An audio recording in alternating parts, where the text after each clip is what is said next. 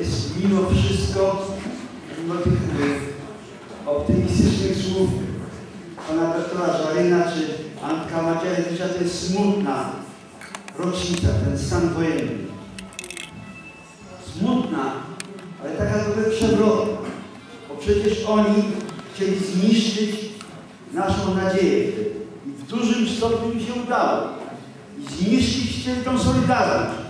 I też się im udało.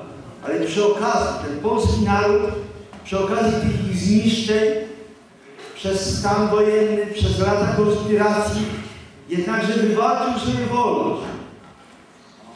Coś najbardziej stracili. Najbardziej żal, może tego, co tutaj nam kolega śpiewał, ale najbardziej to nam żal czasu. Tego czasu, długiego czasu, który straciliśmy, bo już jest tyle lat od tego uderzenia w grudniową noc. Tyle lat, gdzie moglibyśmy już innym krajem, mogli być inną Europą, bo ta solidarność, ta wielka pierwsza solidarność niosła z sobą taką niewypowiedzianą, może nie do końca zrozumianą, ale olbrzymią nadzieję. Teraz na tą nadzieję Polski wolnej, solidarnej cały czas jest czas. Cały czas to ma być nasza Polska. Ja dziękuję Jadzi za jej ból, za jej płacz, ale rozumiem, rozumiem, że mamy zwyciężyć. Mamy mieć Polskę wolną, solidarną. Czasu nam nie, nie zwróci.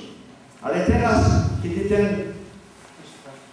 kryzys w Europie, kiedy zmartwienia różne, kiedy nowy jakby świat się kształtuje, to do tego wzoru solidarności, tej naszej pierwszej solidarności możemy i powinniśmy wracać i zbudować lepszą Polskę, lepszy świat.